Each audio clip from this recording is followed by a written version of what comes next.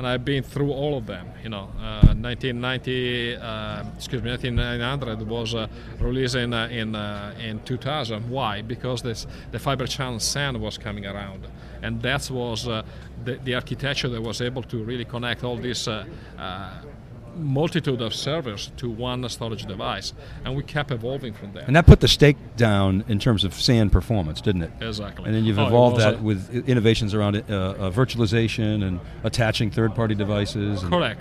It is, dozens is a and dozens. continuous evolution of something that is generated by the user. What they are looking for, what is their problem, what we are trying, what can we help them. Rather than look at ourselves, we look at them as our guide, our direction. So, so how about uh, for the customers who are out there? What's what's available and when? I mean, things like you get mainframe support and tiering. And do you know all this offhand? You know- I mean, we- I started off saying this is Hitachi. Yeah. We do not. We tend not to do slideware. What we what you saw on the on the on the, on the stage right now is available. So the mainframe support is there. Clearly, we have Okay. we have announced that we will uh, provide a uh, dynamic tiering and dynamic provisioning for the mainframe. It will be in the second in the second version. So six months from now, it will be there. Right now, we have delivered uh, we have delivered. Um, uh, the excuse me, the USPV platform with uh, dynamic tiering, with VAI integration, although it will follow in, uh, in about 45, 60 days. We have some internal things. Um, there are steps, a milestone that we have in there to to provide fiber channel over Ethernet. Uh, that was an intentional shift of priority. We didn't see the market being ready for that. We decided to do that six months from now. they're not customers aren't screaming for FCOE, but you know Absolutely it's coming. It's, you got to be there. Exactly. So Yeah. six months from now, the same machine that you bought today can be fit with that. Okay. And, uh, there will be a second version of HDT. We are keeping evolving on that, but everything we have said uh, on the stage is there. So sub, available sub-LUN today. tiering, sub-LUN sub-LUN as is well. available. Is no, you didn't. Talk, did you talk about HAM today? Is, is HAM not Uh, we available? didn't take about HAM uh, is part of that is also available in the next 90 days. and that's going to be part of the. I would presume part of the scale out. Absolutely, piece of it. as part of that. Okay, so so- the scale out and migration as So well. at the everything we time. saw today is near term, either available today or within, Or let's say, the within next, six uh, months. 90 days to 180 days. Roberto, the, the Jack was up there talking about obviously a lot of great messaging. We, we loved his uh, performance, but one of the things he mentioned is the business model shift from past five to seven years, and specifically what I wanted to ask is software. Obviously, Yes. everyone's talking software. Software is the new IP that's driving the, the data, which be, is also the intellectual property of these big companies. Data is not a not a, uh storage asset in the sense of data recovery, but it's actually critical to business using the data to as, to innovate on. So talk about what's different now and what's your vision within the product platform around the role of software Well, software, software has to provide that uh, uh, ease of use is the first is the first ob- objective. You don't have uh, uh, an expanding uh, staff available in the data center anymore. Everyone I talk to, and believe me, I, I talk to hundreds of customers. Everyone comes out with the same. They look around and says, "We are the same that we were five years ago."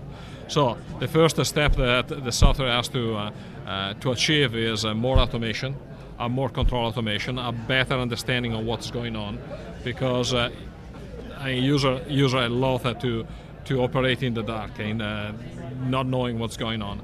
That is the first step. The second step, obviously, with the, this expanding amount of, of information that we have there, is being able to track it. You know, I was able to keep track at 10 years ago what I had on my PC. I can't do today without without certain tool. I have too much things in uh, uh, available, and that is all my personal, just my personal information. Think about an enterprise enterprise wide when you are uh, you are thousand and thousand of people uh, that generate information.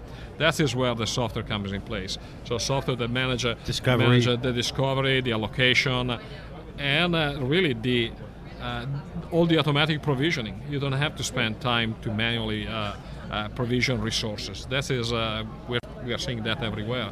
It has to be. Is that also in the on the inno- on the future innovation as you guys move forward and innovate? You're known for product leadership. How much is going to come from software versus hardware? Uh, definitely, it's uh, it's mostly coming from uh, from the software side. I when I you know I as I said I done uh, I done this uh, uh, product introduction for quite some time. Dave, you were among the first one, and I keep saying that hardware is a reactive proposition right now. Uh, what is the technology that is available? You adapt that and you integrate with some of your your IP. The major efforts is all on software. Uh, whether it is embedded software like uh, dynamic tiering, or is uh, uh, host-based software, or is something in between, you know, applica- um, uh, appliance-based software. All the management, monitoring, uh, uh, provisioning part is done is done outside the box, but all the engine, the data mo- moving engine capability is all internal. All the innovation, right? Exactly. So, but it's still a software development, software evolution. So on- that is the key. So on that note, you know, we've been hearing the themes all across the past six months about agility and speed. You know, from the business, you know, model perspective, and also technology. So performance, speed, agility. Application developers, it's more complex for them. You, in the old days, it was like, okay, the application guys do their thing. They got their back end data. They go to the network guys. They had them all siloed out, and they all mm-hmm. they all kind of shot bullets at each other. They got along, drank beer together. But now, now to be fast as a developer, you really got to abstract away the hardware and the network where is that going? Because in app developers, they're not going away. They're actually increasing on an increasing rate in the enterprise, and guys doing you know iTunes and i iPad apps.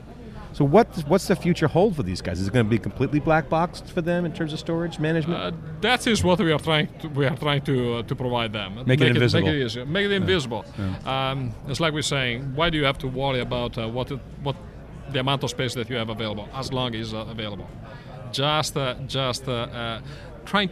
We are trying to remove at least one layer of. Uh, uh, between uh, between the storage administration and the application administration, just make it transparent or uh, invisible, like uh, Dave said.